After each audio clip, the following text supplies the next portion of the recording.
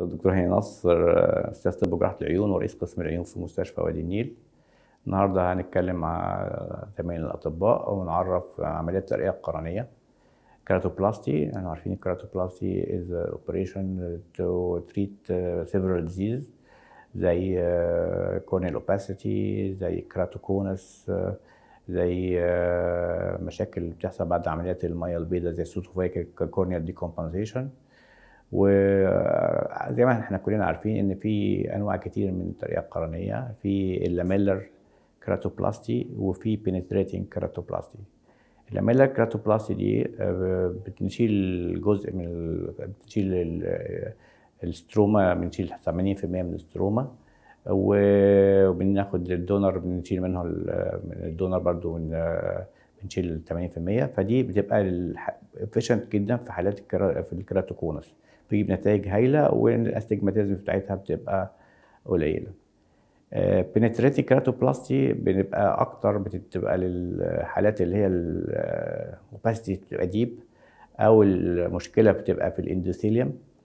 فبنضطر إن إحنا نشيل القرنية كلها. ونجيب قرنية فيها endothelium healthy و وطبعا عارفين بناخد كده ولا كده بتاخد interrupted suture ام 16 interrupted suture مع continuous أو لوحديها وبنشيل الغرز كلنا أنتوا عارفين بعد سنة إلا إذا كان في astigmatism عالي فبنشيل ال astigmatism according to ال astigmatism الموجود. الحقيقة كمان في كمان نوع كتير اللي هو ال lamellar ده في نوع اسمه حاجة اسمها DALK deep anterior lamellar keratoplasty وطبعا زي ما أنتم عارفين ده ممكن يتعمل manual ب trephine ويتعمل بال air bubble technique بنحقن هواء عشان نفصل ال lamella من ال من ال Descemet membrane وبتتشال وبعد كده بنشيل ال Descemet membrane من ال donor ونحط القرنية وفي حاجات جديدة طبعا زي ما إحنا عارفين إن إحنا ساعات دلوقتي في techniques جديدة ان إحنا نحاول نلزق القرنية وال lamellar في ال DALK دي بال fibrin glue آه نتائج طبعا ال lamellar دي بتبقى هايلة وبتبقى ال astigmatism فيها قليل.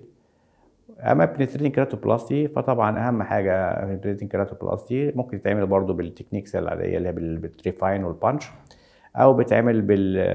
بال بالليزر برضو بنعمل بالفيمتو اللي إحنا بنعمل ال cut بال femto بحيث إن يبقى ال cut بتبقى معروفة في كذا طريقة لل cut بتبقى mushroom shape دي دي أكتر واحدة معروفة عشان تبقى زي داخله محشورة بحيث إن ما نحتاجش ناخد غرز كتير فيها. keratoplasty الأكتر حاجة فيها مشكلة اللي بتواجه الدكتور بعد العملية زي ما إحنا عارفين ال rejection نسبة ال rejection ودي بتختلف طبعا حسب الحالة الثانية وال corneal failure نتيجة ال graft failure دي طبعا بتبقى graft failure وممكن يكون epithelial rejection أو أو أو failure من ال quality بتاعت ال graft فالحقيقة من ال keratoplasty من الحالات اللي عاوزة متابعة فترات طويلة علشان نشوف نتابع ال rejection ونشوف نتابع ال reaction ونتابع ال astigmatism اللي هو في تقريبا 10% من الحالات بيحصل لها astigmatism دايما موفقين إن شاء الله. شكرا جزيلا.